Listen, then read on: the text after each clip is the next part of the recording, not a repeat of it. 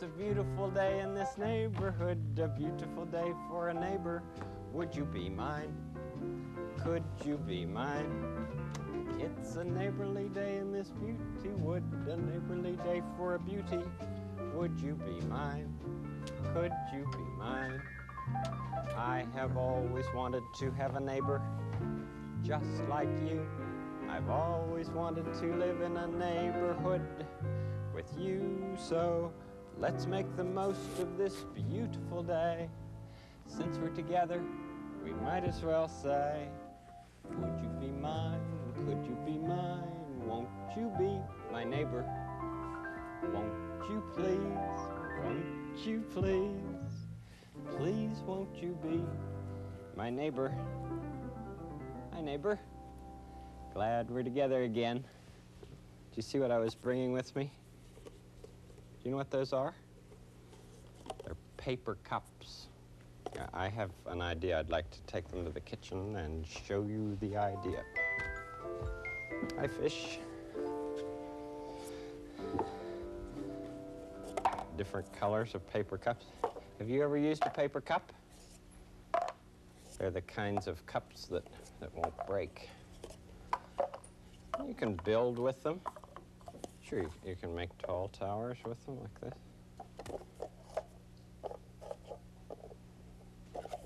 I thought you could. Yeah. Just takes time, patience.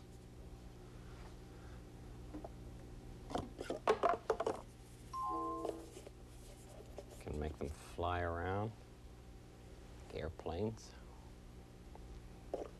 Cars moving along. I think maybe I'll make these are a little smaller. Just make a a building. Let's see if I try a building like this. I was thinking about this kind of building as I was coming along.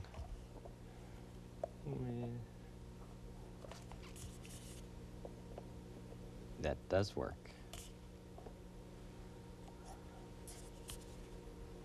Put this a little closer.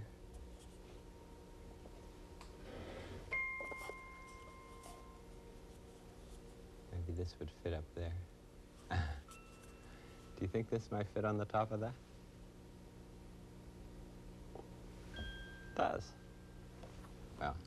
You'll think up ideas if you have any. One other thing that I want to show you. Yeah, here's my stone. Take three cups like this and put a little stone under this one. Now you see if you know where the stone is.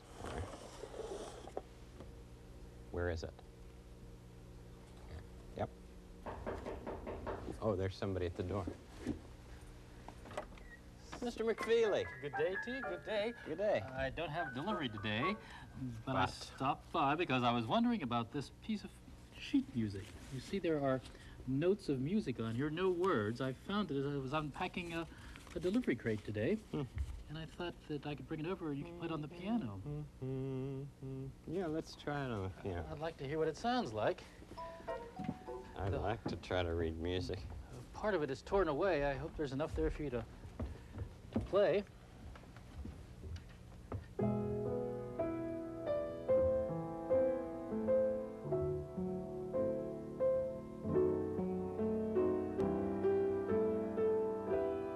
know what this is?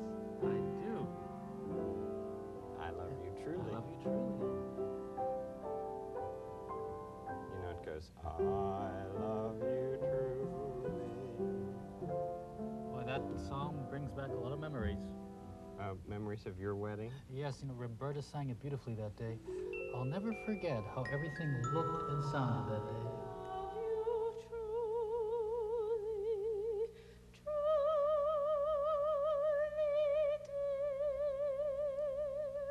You know, many of our friends and relatives were in the church. Boy, it was sure nice to have them all there.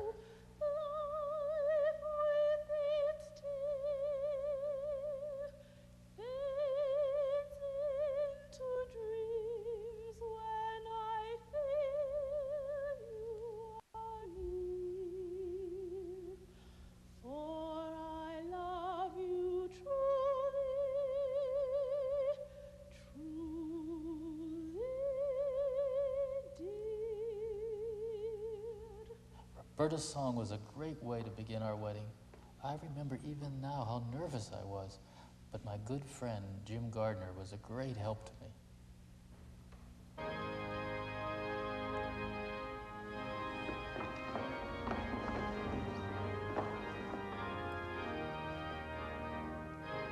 Betsy's sister Nan came in first.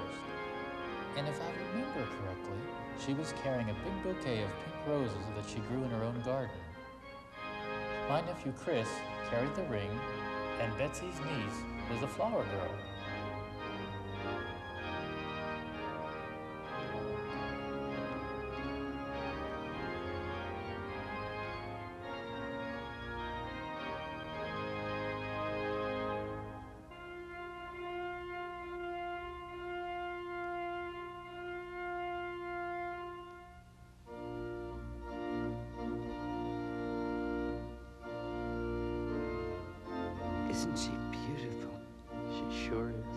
My mother always loved Betsy, even from the time when she was a little girl. In fact, Betsy and I knew each other a long time before we got married.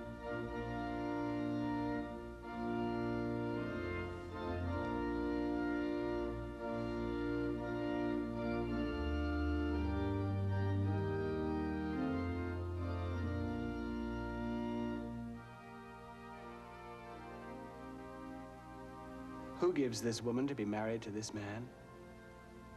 Her mother and I do.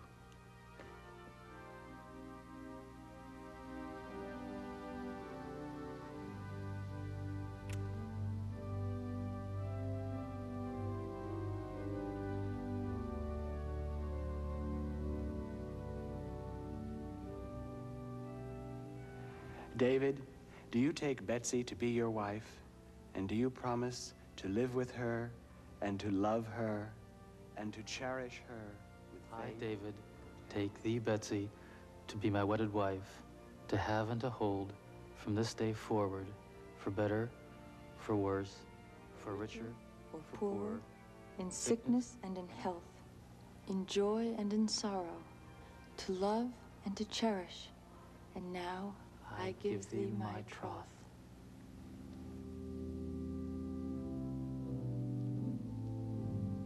With this ring I thee wed, pledging my constant faith and love, and with all that I am and all that I have, I honor you.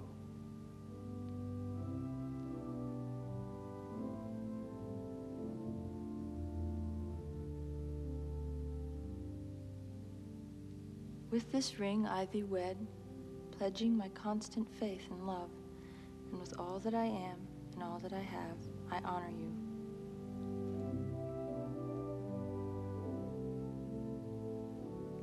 Now that David and Betsy have consented together in holy wedlock before God and these witnesses, by the authority given me as a minister of the church, I now declare you husband and wife. What God hath joined together, let no one put asunder. Amen.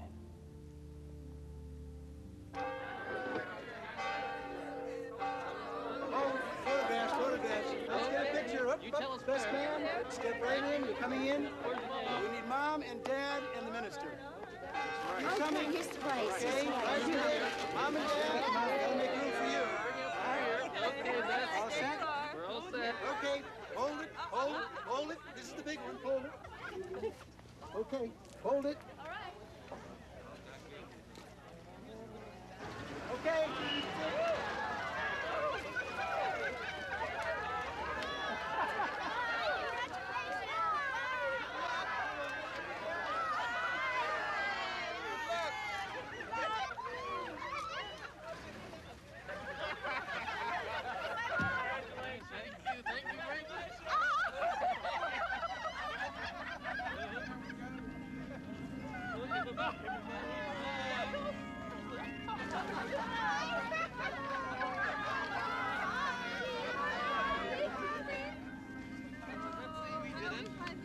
Having our friends there really meant a lot to Betsy and me. We waved goodbye to them. Off we went to begin our life together. And we've been married for 45 years. Have you always been happy? Oh, nobody's happy all the time, but Betsy and I have had a big share of happiness.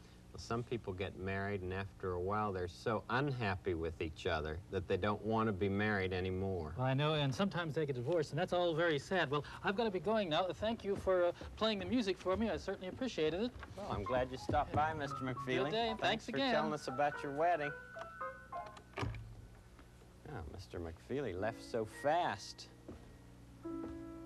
As soon as we started talking about divorce, I guess that's something he doesn't like to talk about.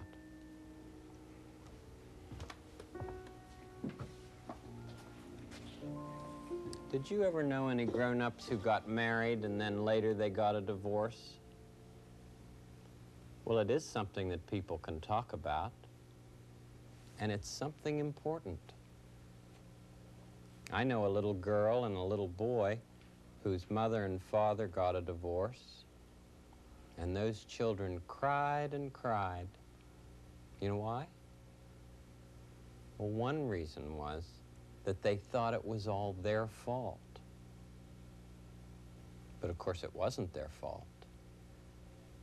Things like weddings and having babies and buying houses and cars and getting divorces are all grown up things. Let's do something different. There are all kinds of ways to make believe. So let's just look closely at these paper cups and think about a picnic that King Friday, Queen Sara, and Prince Tuesday are having. And let's pretend that two new people stop by and talk with the royal family. They can have some important talk. Lovely sky, uh, good temperature. Uh, this could be a perfect picnic. I think it is perfect. I really like it here. it could be perfect if we had flown here in a new jet plane. Oh, Friday, you have a one-track mind. One jet stream mine, Sara. Oh, there's somebody coming. Yes, I wonder who that is. Some other picnic people, I presume. Hello. Hello, I'm Krista Jane Bacardi, and this is my daughter, Patty. Oh, we're glad to meet you, Ms. Bacardi and Patty Bacardi. Uh, will you share our picnic with us? We've already had ours, thank you, but I thought your son might like to play with Patty. Uh, would you young people like to have a few minutes play together? Okay. It won't be long because we have to get back to the castle soon. So why isn't your daddy here with you? Well, my daddy's divorced from my mom. What's that mean? That means they don't live with each other anymore. You mean you don't see your daddy anymore? Oh, yes. I go and visit him, but my mom doesn't come with me Why not? because my mom and dad got a divorce and I don't think they love each other anymore. But I know my daddy loves me and my mommy loves me too. But they don't love each other anymore? Sometimes they used to have terrible fights, What about? all kinds of things. I'll bet it feels awful. Sometimes. But I don't think about it all the time, just sometimes. Gee, I don't think I'd like that at all. Well, I couldn't do anything about it. Time to go, Tuesday. Come along. That wasn't long at all, Friday. You didn't give them much time at all to be together. Important castle business. We must return. Oh, Friday. It was a pleasure to meet you, Miss Bacardi. I hope we'll meet again, Sara. Well, I do too. Come along, Patty. Okay, Mom. Bye bye, Tuesday. Bye bye, Patty. Uh, let's move these cups into our baskets now and go. You and your hurrying, Friday. It seems you're always wanting to stop something that's fun.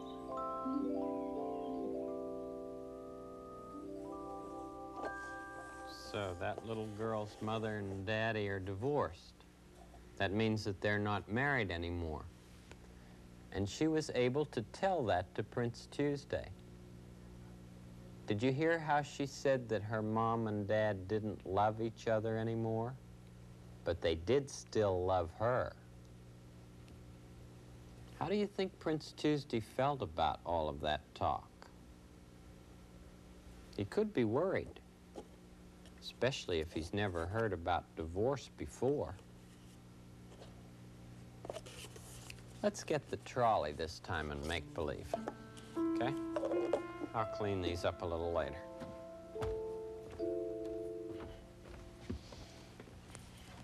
Okay, trolley.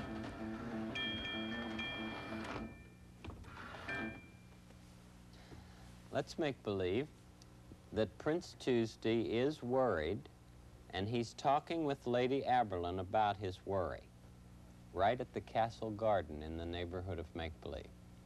Ready to do that? I am. Neighborhood of Make Believe.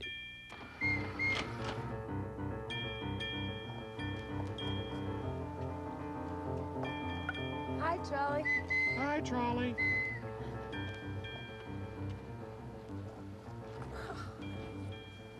Does the trolley ever get angry? I don't think so. Why?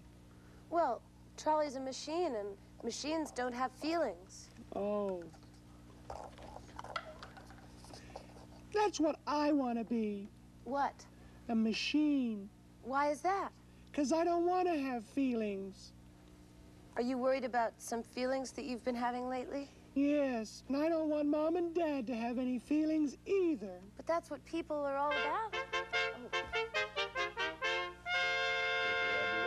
and Prince Tuesday, I presume. Correct, as, usual, Uncle Friday. Uh, have you two been playing airplanes? Oh, no, we've been building with paper cups and pretending that they were puppets. Of course, and- you could uh, pretend they were airplanes. I guess we Uh, could. You could put them end to end and fly them around. Well, like this? Something like that. Uh, but be sure they sound like a jet. Jet planes go very fast, you know. uh, especially A&L jets. Uh, you could pretend that they are jet planes too, Prince Tuesday. I don't want to. Of course you do. Everybody wants to think about jets. I certainly do. Now, if a representative from A&L Jet should come, please tell her that I will be in the A room. Naturally. Naturally. Naturally. Farewell. Farewell. Farewell. Daddy's talking a lot about jet planes. What does Aunt Sara say about that? Well, she really gets angry. Delivery, speedy delivery, speedy delivery. Good day, everybody. Hi, Mr. McFeely. Hi, Mr. Prince McFeely. Tuesday. Ooh, looks like you have a really fancy delivery here. I'll say it's some sort of machine for Corny's factory. Does it have any feelings? Well, what do you mean, Prince Tuesday? Does that machine have any feelings? Well, I don't think so. It has specifications and instructions, but says nothing about feelings. So, well, why do you ask? Just wondered. Prince Tuesday and I were talking about feelings and how machines don't have feelings. Oh, I see. No, I'm sure that this doesn't have any feelings. Well, then I'd like to trade places with it. Just leave the machine here and deliver me to Corny. Oh, I couldn't do that, Prince Tuesday. You'll never be a machine. Even if I don't want to have any feelings? No, you'll always be a person, and persons have feelings, and that's the way it is. Well, I don't mind having good feelings, but I don't like the bad ones. Well, I know how you feel, young man, but there's one thing I'd like to tell you. What is that? I'm sure glad to know you, Why? because if you're concerned about feelings, you're growing up to be somebody who cares about people. And I don't like people to be mad at each other. Time to come in Tuesday. Okay, Mother. See you all later. Bye, Prince Tuesday. Bye. Tuesday, we'll talk some more later. Children are certainly complicated, aren't they, Lady Aberlin? We all are, Mr. McFeely. Well, I guess you're right. Uh, say, Lady Aberlin, would you like to uh, help me with my delivery? Well, I'll make it for you if you like. Oh, that'd be fine. I have a lot of work to do today, and all you, that you need to do is get uh, Corny to sign the receipt right here, and I'll just pick it up from you later, all righty? I'll be glad to. Oh, and don't forget to say speedy delivery, all righty? Oh, good. I, I'd like that. I, I can do that. Speedy delivery. Uh, speedy delivery one more time. Speedy delivery. Oh, just fine, just fine. Thanks, Lady Aberlin. Bye-bye. See you around the campus. Bye. Specifications and instructions. Oh, I say there, Lady Aberlin. Lady Elaine, where are you? Over here, dear. Where? Here. Oh, you startled me. what is this you've got, dear? well, it's a delivery for Corny. Hmm, looks like a new machine. I guess so. Do you suppose it's something for his rocking chairs? I don't know. Well, uh, why don't you open that envelope and see? Well, because it's not mine. Well, it's right there in front of you. I know, but Mr. McFeely asked me to deliver the whole thing, the machine and the envelope, just to Corny. Uh, just one look, dear. Lady Elaine, it's not ours. Spoil sport. If Corny wants us to know what it is, he tell us. Cornflake. Corny, Cornflake S. Pecially. Especially. Well, if it's not two women with lady names. Speedy delivery, Corny. And everybody's wondering what it is. Uh, well, thank you very much for bringing it. I've been uh, waiting for this for quite a while now. And everybody's wondering uh, what it is. Uh, Mr. McFeely wanted you to sign this receipt, Corny. Well, fine, I'll be glad to. Cornflake S. Pecially. Thank you. And everybody's wondering what it is. Uh, well, it's a new machine. Uh, just thought I'd make something different for a change. You're always manufacturing things, aren't you, Corny? Uh, I like to make things. Uh, Everybody's wondering uh, what you're going to make with this new thing. I mean, uh, we could just look inside that envelope. I'm just not ready to tell yet, Lady Lane. how about a hint, dear? I'll tell you when I'm ready. Well, I hope that's soon. Toot toot. It's hard for some people to wait. That's right, but it's a mighty important thing to learn. I'll say. Oh, I'm so glad that this has come. I just want to start to work on it right away. Oh, yes, interesting to know what's going to happen here I use this new machine.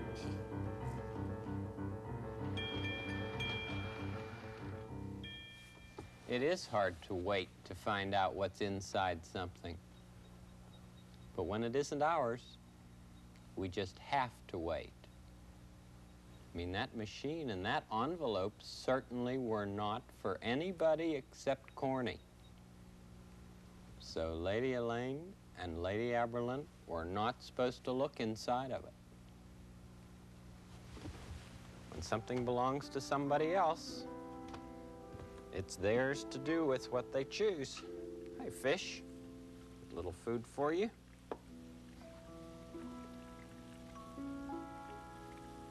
Prince Tuesday said he'd like to be a machine and not have any feelings. But when you're born, you're a person. You're not a machine. Machines just do the same things over and over and over again. But when you're a person, you can grow and change and feel. Sometimes you feel like holding your pillow all night long. Sometimes you hug your teddy bear tightly. He's old, but he's still strong. And sometimes you want to snuggle up closely with your own mom and dad. At night, you even need the light sometimes, but that's not bad. Please don't think it's funny when you want an extra kiss. There are lots and lots of people who sometimes feel like this. Please don't think it's funny when you want the ones you miss. There are lots and lots of people who sometimes feel like this. Do you ever feel as if you'd like to hold your pillow at nighttime? Or hug your teddy bear tightly? Ever feel as if you'd like an extra kiss? There are a lot of people who do.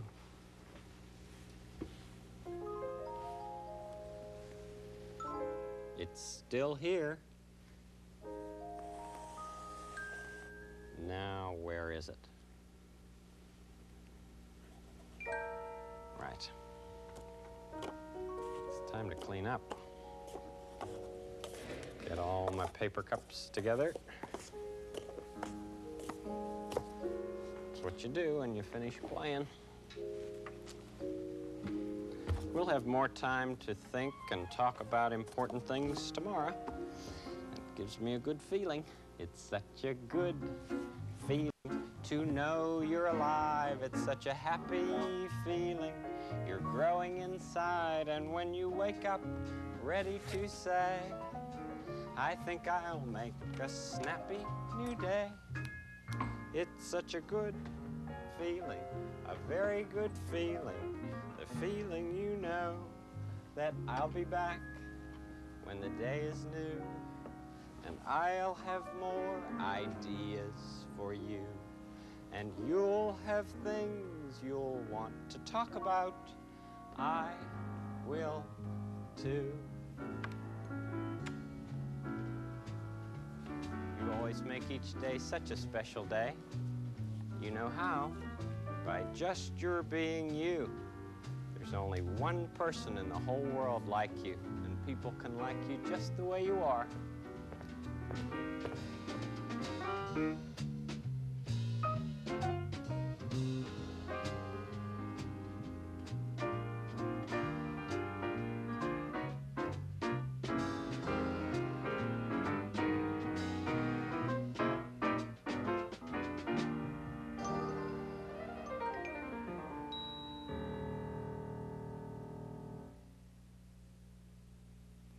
The people who gave the money to make Mr. Rogers' neighborhood are the people of this and other public television stations and the Sears Roebuck Foundation.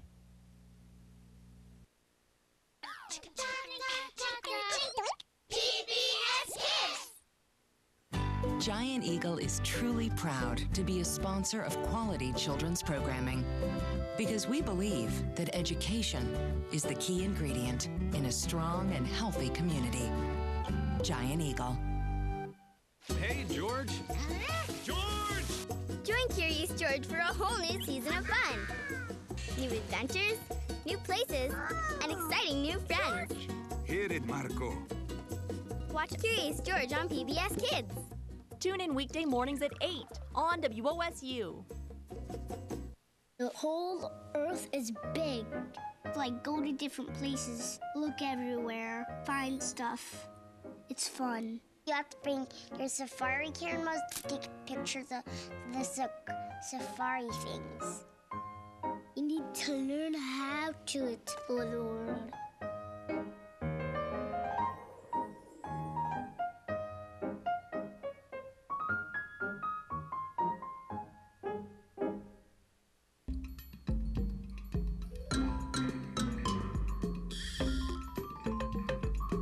Hey, look who it is! It's the Cat in the Hat on PBS Kids.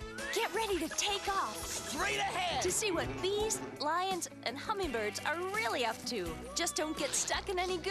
Hmm. Tune in weekday mornings at 8.30 on WOSU. Coming up on Guardians of the Core. Alex finds the Guardians of the Core guidebook. Do-re-do. Look it up! What did you do? Um, but when he isn't careful with the phrases, the core becomes a jukebox, making everyone sing and dance. I blame Alex. He was messing around with the core. Will Alex and Zoe stop the core's constant